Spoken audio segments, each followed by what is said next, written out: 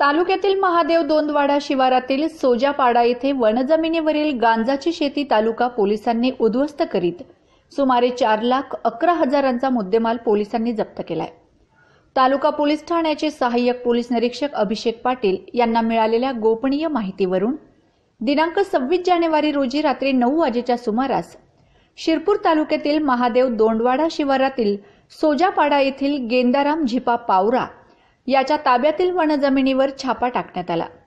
यावेळी गेदाराम पावरा हा अंधाराचा फायदा घेऊन शेतातून फरार झाला. या छाप्यात अंधारात बॅटरीच्या उजेडात कापसाच्या शेतात कापूस तूर व ज्वारी पिकांच्या आडोशाला चार ते सहा फूट वाढलेली गांजा पिकाची झाडे आढळून आलीत. ती सर्व पोलिसांनी उपटून ताब्यात घेतलीत. सदर कार्यवाहीत तालुका पोलिसांनी चारशे अकरा हजार किमतीचे दोनशे पाच किलो वजनाचे गांजाची झाडे जप्त करण्यात आलीत. सदर कार्यवाही सहाय्यक पोलीस निरीक्षक अभिषेक पाटील यांच्यासह police head constable Hemant Patil Gawali More Patil Pawar Yogesh Dabhade Pathan Pawara More Patil व वाहन चालक गोविंद कोळी व इम्रान फारुकी आदींच्या पथकाने केले. माझा खानदेश न्यूज ब्युरो शिरपूर.